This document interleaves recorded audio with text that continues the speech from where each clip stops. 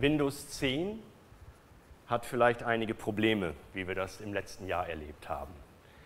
Ähm, dieses Hallo, schön, dass Sie da sind, zahlreiche großartige Features warten auf Sie, gehört wahrscheinlich zu den Momenten, wo man am Rechner sitzt und sich denkt, warum glaubt das System, dort fünf Minuten rumzurocken und keiner weiß, was da passiert? Es werden schöne bunte Bilder reingeblendet.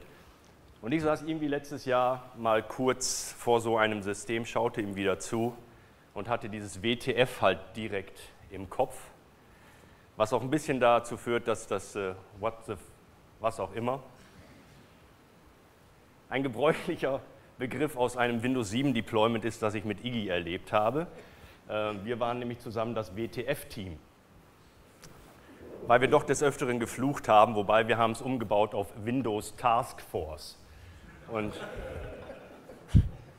jetzt stehen wir halt vor der Idee, ich habe mir gedacht, what the, was auch immer, Windows 10 fails oder auch vielleicht Windows 10 fails. Also vielleicht sind es doch mehrere Probleme, die wir haben mit dem System. Und ich habe einfach mal geschaut, so durch die, die, die Netze oder auch auf meine eigenen Systeme, was mir zurzeit eigentlich an Windows 10 ja wirklich missfällt und wo ich einfach ein Problem mit habe. Ähm, ich habe hier, glaube ich, noch einen Werbeslide, dass wir wenigstens wissen, wer uns heute hier bezahlt und wer hier für das Essen gesorgt hat. Das sollte auch nicht unerwähnt bleiben. Wenn ihr zu, zu, zum Kunden geht zurzeit, was ist wirklich das Killer-Feature von Windows 10? Was ist das, wo, wo jeder Kunde sagt, geil, muss ich haben die Hütte, ich schmeiße mein ganzes Windows 7 raus, will ich nicht mehr haben, ich mache jetzt Windows 10. Was ist das Argument dafür? Es war umsonst. Nein, es war umsonst. Support für Windows 7 läuft noch bis 2022 oder sowas? Oder 8, nee, weit. 2020. 2020 und dann 22. So. Also das heißt, da haben wir noch locker Zeit. Es gibt im Moment, glaube ich, für Windows 10 kein Argument. Also es gibt diese ganze große Roadmap für Windows 10, wo Microsoft auch wahnsinnig viel getan hat äh, in Bezug auf Authentifizierungsmechanismen aufgrund von äh, oder auf, auf Basis von äh, Parse-Hash-Geschichten kam das ganze ähm, Credential Guard hinzu, dann haben wir noch, ich sage jetzt mal, äh, Device Guard ähm, und andere Sicherheitsfunktionen, die natürlich wieder nur in der Enterprise-Version verfügbar sind. Aber es ist eigentlich kein ich sag mal, echtes Argument für Windows 10 zurzeit im Unternehmen, wenn ich bei meinen Kunden zurzeit war. Und gerade beim klassischen Mittelständler, der, ich sage jetzt mal, mit OEM-Lizenzen daherkam, da war das Argument, das Zeug ist umsonst. Ich muss dafür nichts bezahlen. Es war Update-free bis zum 29. Juli. Das Thema habt ihr jetzt verpasst, wenn ihr euch denkt, das machen wir nochmal. Also da habt ihr, ne, das Thema ist durch. Aber das war eigentlich so das Argument auch im ganzen Bekanntenkreis. Ne, kennt ihr das, wenn Papa euch fragt, soll ich jetzt auf Update drücken? Und ihr habt gesagt, ja. Warum? Ist umsonst. Und mit dieser Deployment-Strategie, die Microsoft da uns ins Netz gebracht hat, haben sie halt geglaubt, dass sie binnen Jahresfrist auf eine Milliarde installierte Devices kommen. Ich glaube, 300 Millionen oder sowas war dann die Grenze, die sie geschafft haben, was so durch die Presse kursierte. Also es ist schon ein massiver Rollout gewesen, sicherlich auch im Endkundensegment. Und das, was da eben aber auch passiert ist, die Leute haben sich prima durchgeklickt und die äh, Express-Einstellungen genutzt. Weil Microsoft ja mittlerweile auch die Idee hat, wir würden da ganz gerne mal die, an diesen Daten partizipieren, die generiert werden können. Und das ist sicherlich ein Punkt, für den Microsoft ich sage jetzt mal, zu, etwas zu Unrecht äh, ins Gesicht geschlagen wurde. Denn jeder von den Großen möchte Daten haben. Also da geht kein Android-Device anders, da geht iPhone nicht anders, das ist äh, Google nicht, Facebook nicht. Alle möchten eure Daten, alle möchten wissen, wie ihr euch im Netz bewegt, was ihr tut, wie ihr tippt, wie ihr euch verhaltet, welche Seiten betrachtet werden und, und, und, und, und. Und dass das natürlich interessante Daten sind, äh, da sind wir uns sicherlich ganz klar drüber mittlerweile. Aber ich glaube, der Endkunde, der hat ja gar nicht bei der Anmeldung diese Schaltfläche gesehen, dass man da unten erweitert anklicken kann für, ich sage mal, individuelle Einstellungen. Und dann kommt noch hinzu, dass es äh, selbst dann nicht alles abschaltet, was nach Hause funkt. Ähm, und zu diesem ganzen Thema Telemetrie ganz abschalten, ähm, das ist einmal erstmal überhaupt, dass der Rechner auf regulärer Basis Daten versendet. Das könnt ihr nur in der Enterprise-Version komplett deaktivieren. Also solange ihr auf einer Windows 10 OEM Professional, was auch immer unterwegs seid, könnt ihr diese Datensammlung in einem minimal anonymisierten Paket ähm, nur, ich sage jetzt mal, ja, minimalst konfigurieren, weil die Stufe ganz aus nur im Enterprise-Umfeld möglich ist. Ein, ein, wie ich finde, ganz nettes Nebenbei-Effekt-Ding ist der Feedback-Hub. Hub. Feedback Hub. Nutzt den jemand von euch? Windows 10 Feedback Hub? Ja, also so klassisch Error Reporting, wenn man mal merkt, ups, da ist was schiefgelaufen. Ähm, man kann das ja mal committen, wie das heutzutage so schön heißt, und einfach mal mitteilen, dass es da Fehler gibt, weil da muss man sich auch nicht vorwerfen lassen, man hätte nichts dagegen getan, wenn es nicht geändert wird oder wie auch immer. Ähm, und selbst wenn ich quasi ein Feedback senden möchte, muss ich meine Datenschutzerklärung aufweichen und sie auf nicht einfach stellen, sondern sogar auf erweitert. Also da kommen dann auch noch Gerätedaten hinzu und solche Geschichten. Also selbst wenn ihr nett sein wollt und Microsoft äh, sagt, hey, da ist ein Fehler, sagt Microsoft, klar, danke, aber ich nehme auch den Rest mit. Ähm, der Feedback Hub selbst ist die einzige Schnittstelle tatsächlich, um Error Reporting zu betreiben für Windows 10 und auch Feedback zu geben, wie das so schön heißt. Ähm, der Hintergrund ist sicherlich, dass Microsoft keine Webseite gebaut hat für das Thema, um tatsächliche Windows 10 User zu haben, die reporten. Also das ist wahrscheinlich die Logik in der Kette, weil wenn ich eine Webseite baue, könnte ich auch mit dem Windows 7 sagen, wie schlecht ich Windows 10 finde. Ähm, wenn ich aber eine Feedback-Application habe, die nur unter Windows 10 funktioniert, äh, naja, dann muss ich Windows 10 haben, um es reporten zu können. Also das ist so hintenrum wenn du schon lästern willst, brauchst du auch das System. Das ist in dem Sinne ganz okay. Was ihr vielleicht aber für euer Firmenumfeld braucht und was an der Stelle nötig ist, es gibt von Microsoft einen TechNet-Artikel, der, oh, jetzt ist die Frage, habe ich überhaupt Netz hier? Das hätte ich testen sollen. Moment.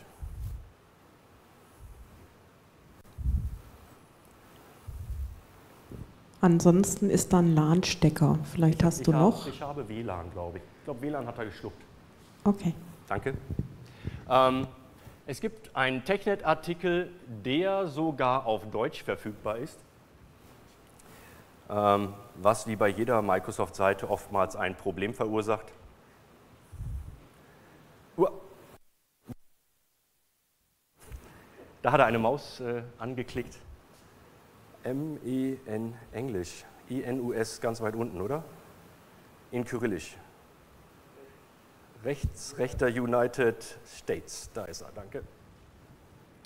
Ähm, in diesem Artikel werden sämtliche Produkte genannt, die in irgendeiner Form nach Hause funken. Also nicht nur, ich sage es mal, Bing Weather, Bing Finance, Bing Sport, von denen man ja gemerkt hat, äh, irgendwie kommunizieren die permanent mit dem Netz, sondern aber auch einfache Dinge, die in dieses ähm, äh, CEIP gehört, Customer Experience Improvement Program, also dieses, äh, wollen Sie Daten senden, um das Produkt zu verbessern, diese Checkbox, die ihr bei einigen Produkten kennt. Und es gehören auch dazu Sachen wie eben OneDrive, es gehört natürlich Cortana dazu, der persönliche, die persönliche Assistentin. Ähm, und hier ist eine sehr, sehr lange Liste an Konfigurationen und wie man sie denn aber auch zum Glück dann abschalten kann. Und das Interessante oder das Wichtige an der Stelle ist, dass bei der Spalte Group Policy alle Haken an sind. Das heißt, wenn ihr tatsächlich eure Systeme kontrollieren wollt im Netz und ihr habt euch überlegt, wir müssen das in irgendeiner Form machen, dann ist sicherlich Gruppenrichtlinien in einem Managed Device in einer Domäne das Mittel zur Wahl. Und ansonsten gäbe es natürlich immer noch Registry-Settings und, und, und, die das auch können. Aber ihr könnt mit Gruppenrichtlinien den ganzen Schnickschnack aushalten und euch da austoben. Und es ist zum Glück so, dass hier, sei jetzt mal, alle Produkte genannt werden, die, die kommunizieren, aber dummerweise auch Dinge abschalten, die eigentlich brauchbar sind. Ähm, äh, Smart Screen, wer nutzt Smart Screen? Äh, klassische Technik, um eben Downloads zu validieren gegen Microsoft, also wo einfach geprüft wird, kann die Datei malicious Code enthalten oder ist sie schon mal aufgefallen als schlechte Software. Das heißt, ich nutze einen, einen Drittanbieter mit einer riesigen Datenbank, der mir Informationen liefern kann, ob jemand anderes das als schlecht reportet hat. Und ich gewinne dadurch eigentlich Sicherheit. Nur der deutsche Datenschutz sagt an der Stelle, das dürft ihr nicht. Der sagt nämlich, das geht Microsoft verdammt nochmal nichts an, was ihr herunterladet. Und jetzt steht hier in so einem kleinen Gewissenskonflikt zwischen naja, eigentlich ist es okay, wenn ich die Daten sende, weil es mir mehr Sicherheit bringt. Auf der anderen Seite haben wir aber den Datenschutz, der da sagt, ja, das geht dir aber nichts an. Und jetzt müsst ihr gucken, ob ihr da eine andere Methode findet, um aus diesem Konflikt herauszukommen. Aber diese Dinge sind eben auch genannt in diesem ganzen Tool und dementsprechend könnt ihr euch da mal einfach durcharbeiten in aller Ruhe. Mit ein wenig Zeit. Man könnte auch Dienstleistungen kaufen. Einige Kollegen haben das schon vorbereitet. Und dann sich, nein, es ist einfach nur ein bisschen Zeit, die ihr investieren müsst. Das ist, sag jetzt mal, in, in Fleißarbeit in drei Stunden erledigt. Äh, ebenfalls wird euch hier nochmal genannt, wie ihr diverse vorinstallierte Produkte wieder deinstallieren könnt und auch loswerdet und, und, und. Also die Liste ist tatsächlich vollständig, sage ich jetzt mal. Und vielleicht nur an einigen Stellen zu diskutieren. Und das sind so Kleinigkeiten wie äh, ja, Kalender ab, Mail ab, äh, Kontakte und, und, und. Wenn ihr sie nämlich auf einem Touch-Device äh, verwenden würdet, äh, wäre es blöd, wenn man da die Kommunikation unterbindet. Also auf einem Workstation-PC macht das sicherlich Sinn, weil ich die App sowieso nicht verwende, dann kann ich sie auch gleich deinstallieren. Aber vielleicht auf einem Surface oder auf einem Phone, wo ich auch noch eben äh, eine UMTS-Karte drin habe, klassisch und mit allen Netzen verbunden bin, wär, würde es wahrscheinlich Sinn machen, wenn das System auf die Kontakte zugreifen kann, weil man möchte auch vielleicht mal telefonieren. Ähm, also von daher müsst ihr vielleicht nochmal ein oder zwei An- und Ausschalter finden. Aber Telemetrie, Datenschutz ist sicherlich diese eine große Baustelle, die extrem durchs Netz gehypt ist und wo jeder sich ja, seine eigene Meinung über die Datenkrake Microsoft gebildet hat. Ähm, wie gesagt, ich denke, das ist Microsoft kein Unschuldslamm, aber sie haben es zumindest gesagt, wie man es abschalten kann. Nur man wird es nicht auf den ersten Google-Versuch finden, wenn man die Liste nicht weiß, dass es sie gibt. Ein weiterer Punkt, der mich ein bisschen irritiert, und das ist jetzt so aus meiner Admin-Sicht heraus. Wir haben jahrelang bei Microsoft ein Konzept gehabt, das einen Zusammenhang zwischen der Oberfläche und den administrativen Vorlagen gebaut hat. Damit man nämlich die Sachen wiedergefunden hat, die man konfigurieren möchte. Das macht ja Sinn. Und jetzt ist es so, das, was ihr eigentlich konfiguriert, steht hier komplett in den PC-Einstellungen. Es gibt komplett neue Überschriften in dem System. Und die haben mal freundlicherweise nichts mit dem zu tun, an Kategorien und Überschriften habt. Das heißt, wenn ihr ein aktuelles Windows 10 System administrieren wollt und ihr wisst, ihr müsst den Bildschirm schon ausschalten, dann ist der immer noch da, wo er immer war. Also unter Systemsteuerung Anpassung. Aber ihr findet halt quasi den Bildschirmschoner nicht in der PC-Einstellungsgeschichte. Das andere, was sich Microsoft mit dieser, sagen wir mal, Nicht-Anpassung auch gebaut hat, ist, sie haben eine neue Oberfläche gebaut zum Konfigurieren des Systems. Und diese neue Oberfläche ist natürlich hauptsächlich oder eigentlich nur aus Gründen von Touch ins Netz gekommen. Ähm, damit ich einfach mit dicken Daumen das Zeug bedienen kann, macht Sinn, bin ich dabei. Dummerweise habe ich einen PC mit einer Maus, da brauche ich es nicht unbedingt, aber grundsätzlich ist das okay. Nur mit dem Umbau in diese neue Art der Konfiguration haben sie wieder Löcher im System geschaffen. Zum Beispiel ein Klassiker, Änderungen der Proxy-Einstellungen verhindern. Ihr kennt das vielleicht, dass ihr im LAN gerne mal dem User verbietet, dass er seinen Proxy ändern kann, damit er einfach immer über den Leitweg geht, den ich haben möchte. Das heißt, er wird in den Internetoptionen hinterher in den Verbindungen, LAN-Einstellungen hier die Konfiguration des Proxy-Servers deaktiviert und ausgeschaltet haben, weil sie halt, wie die Richtlinie sagt, das verbietet. Und wenn der Anwender nicht ganz blöd ist, dann geht er hier auf Netzwerk, auf den Proxy-Server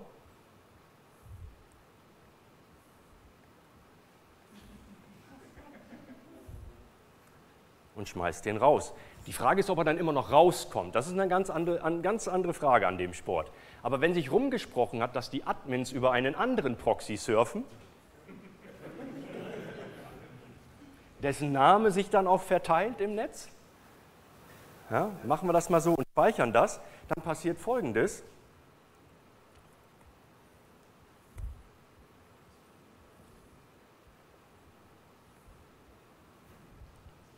Proxy, äh gut, jetzt habe ich den Haken reingesetzt und ihn rausgeschmissen. Das war ein bisschen blöd von der Konfiguration.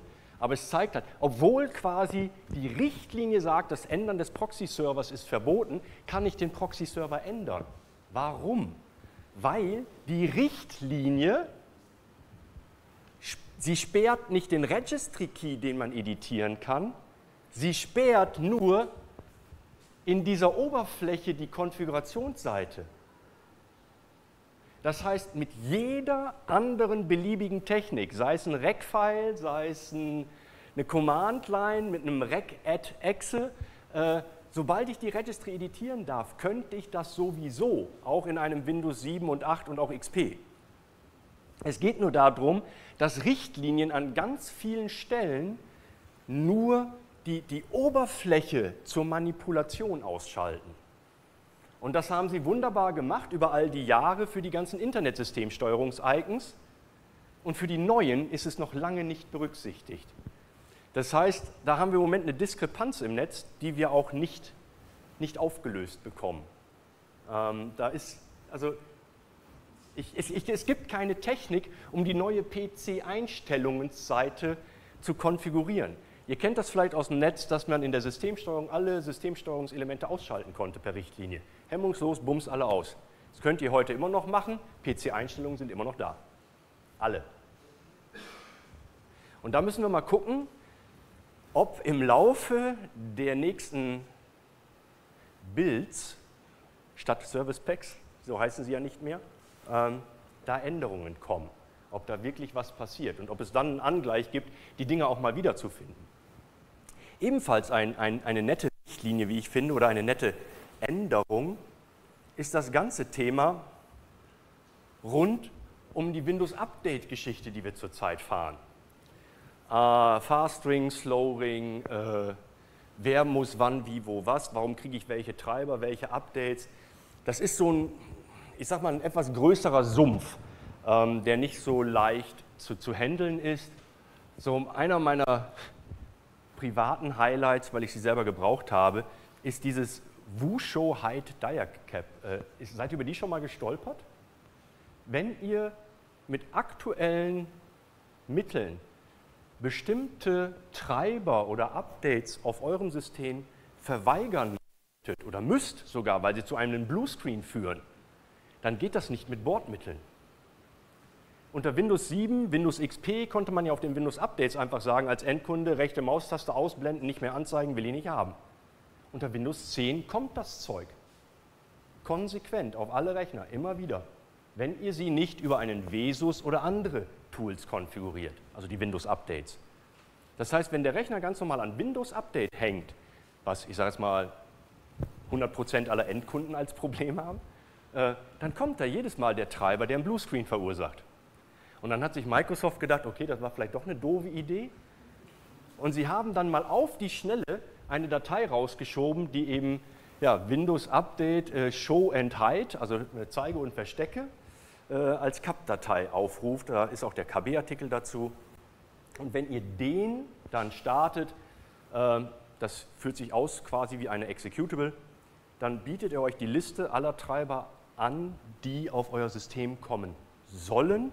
Und ihr könnt sie dann klassisch in einem Checkbox-Verfahren an- und ausschalten, will ich sehen, will ich nicht sehen. Also man kann diese Liste endlich nachträglich, äh, nachträglich manipulieren. Und das ist einfach so eine Technik, ich sage es mal so, ähm, der, ich fürchte, der normalsterbliche Endkunde wird das als Datei nicht so schnell finden und auch nicht als Lösung so schnell finden. Ja? Geht das nur für Treiber oder auch für beliebige Updates? Nee, sind Treiber. Weil Treiber Bluescreens verursachen können. Ja. Die andere Geschichte ist, wer, wer von euch zum Beispiel die Windows-Updates nicht klassisch über den Vesus verteilt, also damit Windows Update Servernamen eingeben und dem ganzen Zeug, sondern einfach sagt, ich mache das mit LANDesk oder mit SCCM oder oder, also 1500 verschiedene Tools, die das auch gut können, dann kann euch Folgendes passieren. Ihr kennt vielleicht noch die Richtlinie, die gibt es auch schon seit Jahren. Windows Update, äh, Zugriff auf alle Bull äh, verweigern oder sowas. Das ist, glaube ich, in der Benutzerkonfiguration, oder? Äh, Moment. Äh, administrative Vorlagen. Windows Update. Zugriff auf alle Windows Update Funktionen entfernen. Wenn man die schaltet, führt es dazu, dass selbst ein Administrator ähm, nicht auf die Windows Updates klicken kann mit äh, schau doch mal doch mal ins Internet und vielleicht lade ich mir doch die Treiber Updates runter. Ähm, man sollte lesen, was da steht, nämlich das Supported es gilt wirklich nur bis Windows 8.1 und Server 2012. Dieser Schalter gilt nicht für Windows 10. Das heißt, wenn ihr möchtet, dass eure Windows-Updates zu 100% kontrolliert von euch verteilt werden, dann müsst ihr einen Fake-Vesus-Eintrag setzen. Weil solange ihr nicht, ich sage mal, einen gemogelten Vesus-Server an den Client verteilt, kann der User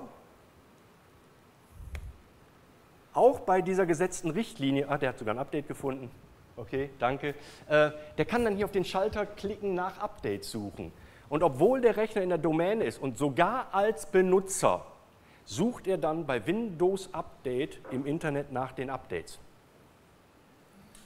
Und das kann in einigen Segmenten vielleicht doch zu Fehlern führen, weil bestimmte Sicherheitspatches noch nicht angewendet sollen zum heutigen Zeitpunkt oder weil bestimmte Treiber-Updates einfach noch nicht freigegeben sind und, und, und, und, und. Also das ist auch so ein ziemlich, sagen wir mal, ärgerliches Konstrukt, das so um diese Windows-Updates sich herumspielt. Wo ich dann auch so ein bisschen denke, naja gut, dann trage ich halt einen nicht existenten Vesus-Server ein und wenn er dann halt nach Updates sucht und einen nicht existenten Server fragt, dann kann da nichts passieren. Aber das ist wieder so hintenrum gelöst. Ich kriege es nicht nativ gesteuert. Und das sind alles so Punkte, die an der Stelle sehr, sehr ärgerlich sind. Wo wir von Updates reden und Patche, die ich vielleicht nicht haben möchte. Also gerade die letzten acht Wochen waren spannend. Also Infrastrukturdesaster, naja, so schlimm war es jetzt nicht, aber ähm, tatsächlich hat Microsoft nach 17 Jahren Active Directory das erste Mal den grundsätzlichen Prozess der Gruppenrichtlinienübernahme verändert. Die, die, haben an den Grundfesten des Systems was geändert. Das haben die nie gemacht vorher, nie. Und jetzt auf einmal hauen die einen Patch raus und jeder wundert sich, warum Richtlinien für Benutzer, die man auf Sicherheitsgruppen gefiltert hat, nicht mehr anwenden kann weil jetzt der Computer, an dem man sich anmeldet, die Richtlinie lesen muss. Ähm, es waren Richtlinien, also Patches dabei wie WPAD. Das war ein WPAD-Update, was sie rausgegeben haben, was dazu führte, dass äh, NetBIOS Broadcasts nicht mehr in weitere Netze gebracht wurde. Führte dazu, dass diverse Scan-to-UNC-Geräte im Netzwerk lahmgelegt wurden. Ich weiß nicht, ob ihr darüber gestolpert seid. Einige meiner Kollegen hatten das. Dann die 87 Jetzt kommt dieses ganze Druckermanagement. Wer verteilt Drucker von euch im AD? Weil die User das nicht können. Die können da nicht. Ich weiß. Ich würde es sein lassen. Ich würde das die User selber machen lassen, aber ist egal. Ist ja euer Sport. Ähm, was macht Microsoft? Sie bringen einen Security-Patch raus, der dazu führt, dass nur noch sogenannte Packaged Driver quasi unattended deployed werden können. wenn der Treiber nicht einem bestimmten, einer bestimmten Paketform entspricht, äh, was bei sehr vielen Canon-Druckern und anderen auch passiert ist, von denen ich es weiß, ähm, dann lässt er sich nicht mehr unattended installieren. Der schiebt sich raus äh, mit einer Fehlermeldung, mit einem großen Pop-up-Fenster für den User. Das heißt, ihr könnt den nicht mehr mit einer Deployment-Technik äh, ja, hintenrum dem User unterschieben. Und solche Sachen sind passiert. Dann, äh, Nils hat es, glaube ich, auch angesprochen, äh, das Anniversary Update mit dem schönen BitLocker-Problem. Auf einmal macht es Knickknack und die BitLocker-Verschlüsselung, ich glaube, das war das TPM-ONA-Kennwort, äh, was sich versenkt hatte. Und dann standen alle Leute vor dir und wollten das Wiederherstellungskennwort haben. Das Schöne an der Geschichte ist eigentlich, sie haben einen Patch dafür gebaut, den man aber erst anwenden kann, wenn man 16.07 installiert hat. Ich stelle mir gerade ein Enterprise-Umfeld vor mit 1500 Rechnern installiert. Alle kriegen das 16.07, jeder von denen ruft mich an und braucht erstmal den Wiederherstellungsschlüssel, damit der Rechner wieder startet. Und wenn der dann wieder startet, schiebe ich den Patch hinterher, damit er mich nicht mehr fragt. Das ist ein Szenario, mit dem ich leben kann. Unvorstellbar. Ja, dann hauen sie einen Patch raus, den nächsten jetzt gerade wieder aktuell und machen damit die PowerShell kaputt. So, okay. Ähm, kann ich gut mitleben. PowerShell ist jetzt nicht meins. Aber ich habe im Moment das Gefühl einfach, dass das, was im Moment an Patchen kommt und das, was da im Moment gemacht wird, nicht mehr so vertrauenswürdig ist, wie es vielleicht vor drei oder vier Jahren war, wo man einfach Windows-Updates, alle Updates runtergeladen, Klick raus, bums geht, ohne Testgruppe, hat immer funktioniert. Und äh, das haben viele Kunden irgendwann auch gemerkt, weil sie gesagt haben, wir haben das jetzt immer wieder getestet auf eine Testgruppe und nie ist was passiert, das tut es einfach. Also, ich find, also das, gerade, ich sage mal, klassisches Office-Umfeld. Ne? Hier Windows-Rechner, ein bisschen Office drauf, .NET Framework, Internet Explorer, tut es die Hütte. Wenn irgendwelche Sonderlocken drin waren, gab es vielleicht doch mal Probleme, aber die Masse der Leute konnte mit Vesus, mit Windows-Updates heutzutage simpel umgehen, ohne Stress. Und im Moment, vielleicht so das letzte Jahr, die letzten anderthalb Jahre, da findet man jeden Monat wieder ein Highlight dazwischen. Es kommen zehn Patch und einer ist Mist. Und ähm, das ist so das, was eben auch mit Windows 10 im Moment vielleicht nicht so schön ist. Ich konnte es mir nicht verkneifen, aber wenn wir von Windows 10 reden, müssen wir vielleicht eben einmal über Windows Phone reden. Okay, ist ja auch nur ein Prozent, reicht ja einmal, wenn wir darüber gesprochen haben. So. Nur, nur, wer hat hier im Raum Windows Phone? Ihr seid Freaks.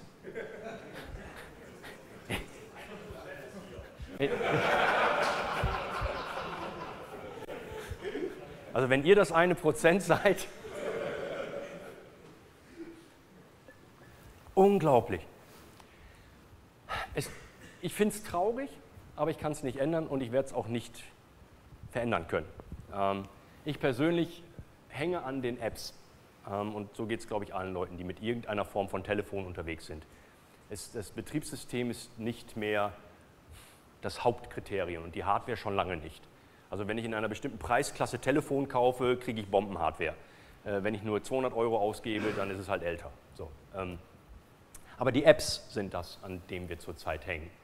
Und selbst große Hersteller wie die Bahn und andere halten es nicht für notwendig, ihre Apps das heißt mal, so weit zu bringen, wie sie unter Android und iPhone sind oder Apple sind.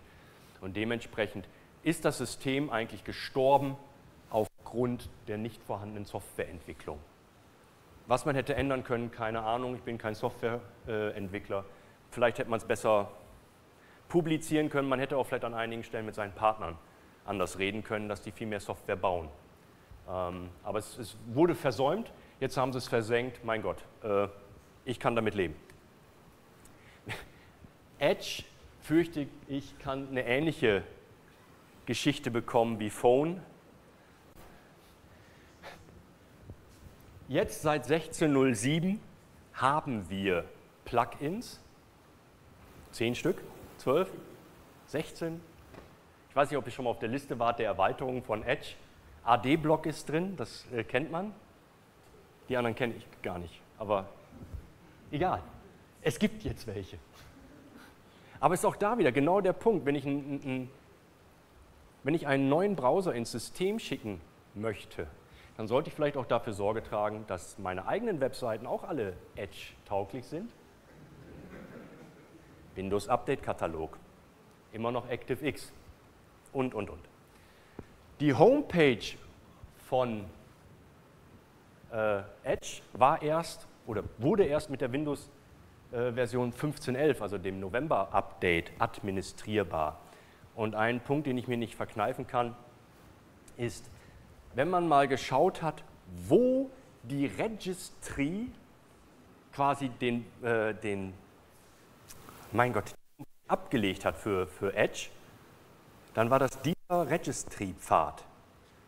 Und der, also unterm Strich, ich mach mal ihn größer.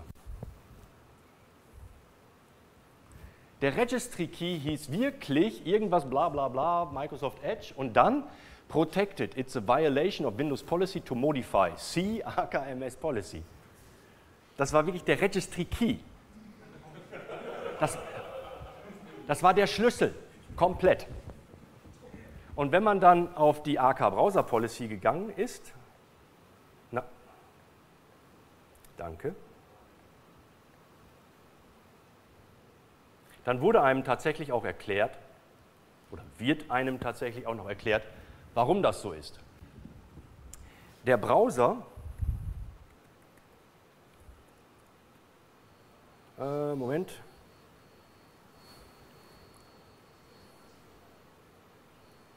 Da ist es gerade nicht. Es gibt irgendwo die Stelle in dem Text, die da lautet, dass der Browser geschützt werden muss vor Manipulation. Und das heißt, es darf keine automatisierte Technik geben, die ihm hintenrum eine neue Startseite äh, mitgibt. Ihr kennt das alles von der Ask-Toolbar, von Search, äh, also dem ganzen Schmutz, den man nicht will, alles, was diese Tools machen, ist, über irgendwelche Skripte, Registry-Hacks oder Executables die Homepage zu manipulieren, damit die erste Startseite, ja, die ist, die ihr nicht wollt. Also hat Microsoft sich überlegt, ist eine Bombenidee. Nur wenn der Benutzer selbst über Edge, über dessen API den Registry Key schreibt, dann wird der Prozent Username Prozent noch mit reingewürfelt in einen riesen Rec Binary. Dann war das wohl eine bewusste Aktion des Benutzers und er wollte das. Sobald dieser Registry Key über eine andere Technik geschrieben wird, ignoriert Edge den Eintrag. Ich finde das tatsächlich gut. Also wenn ich überlege, kennt ihr das, ihr kommt nach Hause zu eurem Papa und Ask ist schon wieder installiert?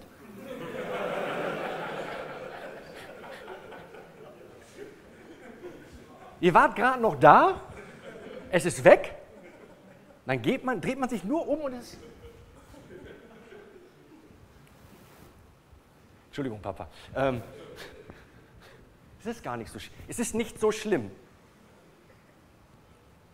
Aber es ist einfach so eine Problematik, die, die, eben zeigt, es könnte manipuliert worden sein. Und das System kann ja nicht bewerten, ob ich einen Registry-Hack reinschiebe über eine Gruppenrichtlinie, die ja auch nur einen Rec-Hack macht.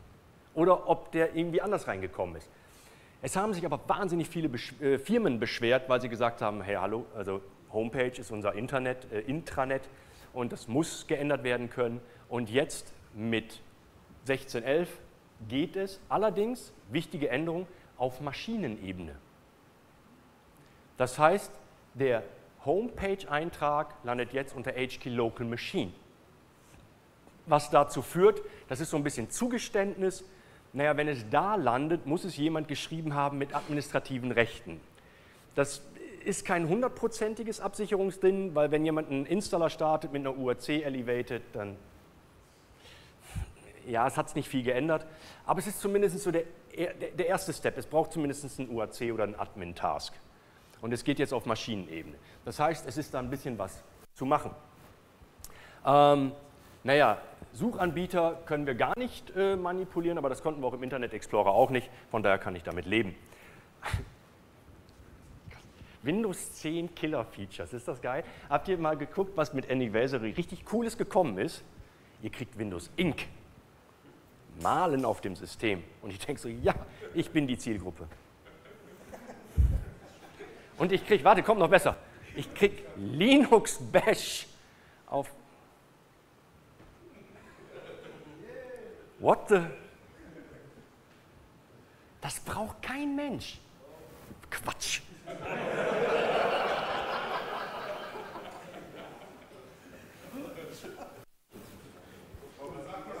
Okay, es, es, stimmt, ich gebe zu, Sie brauchen die Linux Bash, weil Sie ja mit Ihren Windows Updates die PowerShell selber kaputt machen.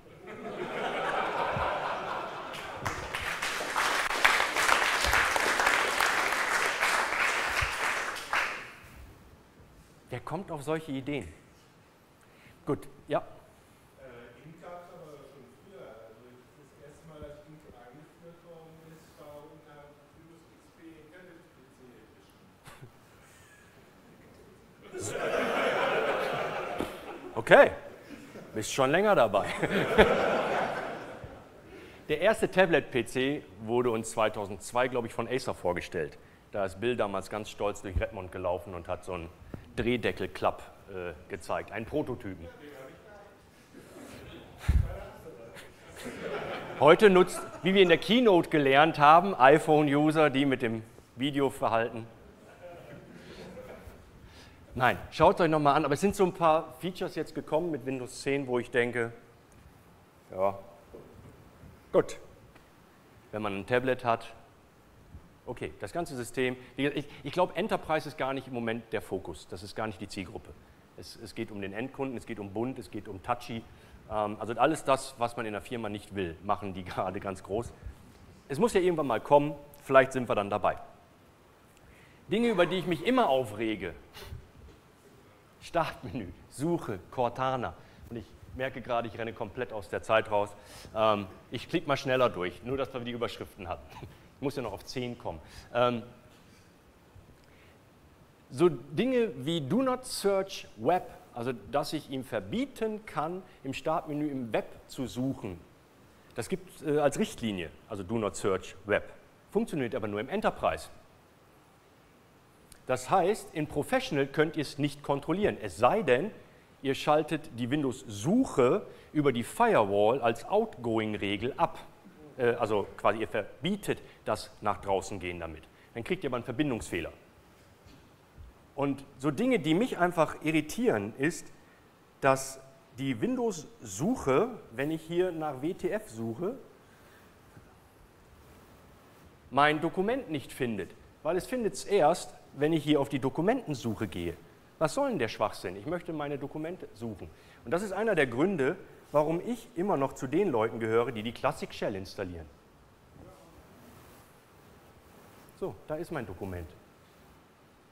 Es ist doch einfach nur suchen und finden. Wobei ich ja persönlich der Meinung bin, die Windows-Suche heißt Windows-Suche, weil sie suchen kann.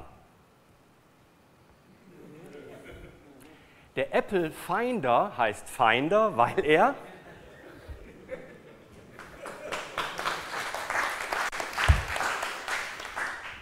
Das Ding mit der Suche, das ist so wie, äh, ihr kennt das vielleicht auch, also ich hörte von Leuten, denen das passiert, so Kühlschranktür auf, Schatz, wo ist die Butter? Ne? Das, das ist so ähnlich und diese Suche kriegt Microsoft seit Windows 8 nicht in den Griff. Es ist traurig, aber gute Nachrichten, die, hier ist die Grenze für die Kamera, die Classic Shell als Freeware Open Source, äh, äh, also von SourceForge bereitgestellt, bietet euch mittlerweile 250 Richtlinien, der das Ding komplett customizable ist. Also wenn ihr ein Enterprise-Argument braucht, warum ihr Classic Shell nutzen solltet, statt der Windows Shell, sagt ihr, weil ich 250 Richtlinien für den Mist habe. Es sind andere Dinge drin, dass man das Startmenü nicht sauber kon konfigurieren kann. Mit also gut, man muss es exportieren und wieder importieren. Äh, der ganze Öffnen mit äh, Sport. So lange habe ich noch, das ist schön. Äh, das ganze Öffnen mit geht nur XML und, und, und. Also es sind einfach Dinge drin, wo ich denke, das sind Grundfunktionen in dem System, die sie irgendwie versenkt haben und die mich als Administrator einfach dazu bringen, dass ich nicht mehr mit, mit simplichen, simplen, ich sage jetzt mal, Registry-Hacks, ein bisschen File-Copy, Schnickschnack, so, sondern nein, ich muss jetzt auf einmal wieder Konfigurationsdateien basteln, bauen, exportieren, importieren, das ganze Zinnober bauen und dann überlegen, äh, bei jedem Start, bei jedem Neustart nur einmal, mache ich es im Deployment oder regelmäßig alle 30 Minuten. Ähm, es ist, ich finde es sehr lästig. Und das ist sicherlich auch ein Punkt, den ich Windows 10 vorwerfe. Sie haben eine riesen Baustelle aufgemacht mit einer neuen Oberfläche, mit neuen Touch-Möglichkeiten, mit allem drum und dran, was dazugehört. Und das ist richtig viel Arbeit für die. Aber sie haben Grundfunktionen des Systems meiner Meinung nach vermissen lassen. Ähm,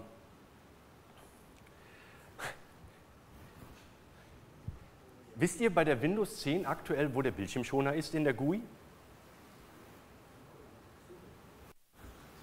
Der Klassiker ist ja immer, man hat so rechte Maustaste anpassen und dann war der immer sichtbar.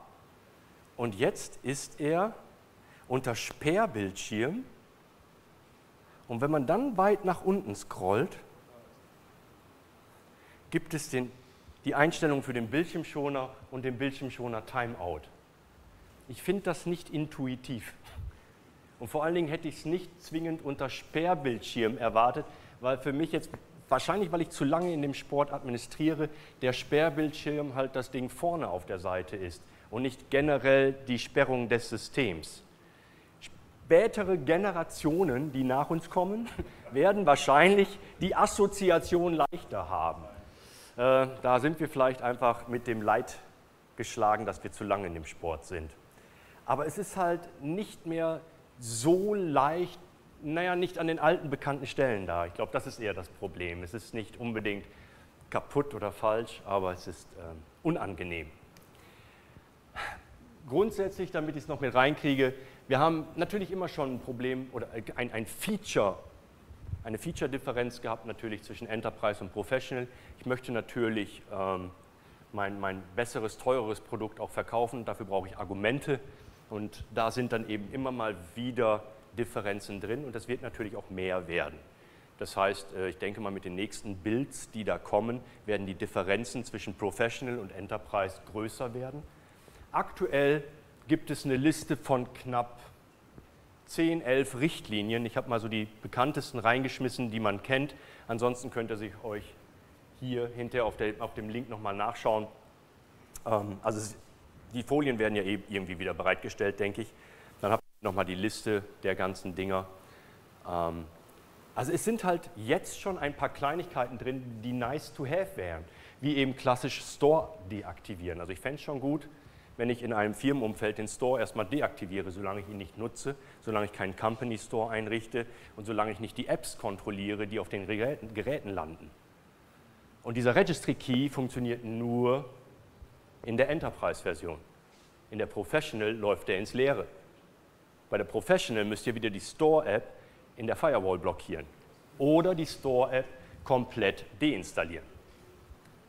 Und als letzter Punkt, den muss ich mir quasi von meiner Seite aus noch unterbringen. Es gibt sicherlich zurzeit, das ist kein reines Windows 10 Problem, aber es gibt zurzeit, glaube ich, eine sehr große Verwirrung, mit welchem Werkzeug ich heutzutage welches System wie auch immer manipulieren muss. Und da gibt es zum Glück seit kurzer Zeit, also sprich seit März diesen Jahres, eine Aussage von Microsoft selbst, der da einfach lautet, Group Policy is the best way to granularly configure domain joint Windows PCs. Punkt so ungefähr. Das heißt, Gruppenrichtlinien, auch wenn wir mittlerweile Legacy sind und nicht mehr so publik, weil alle jetzt SCCM machen und Intune und Mobile Device Management und, und, und, aber Gruppenrichtlinien werden das Werkzeug bleiben, was hausintern zu nutzen ist. Und damit bin ich auch durch. Schönen Abend.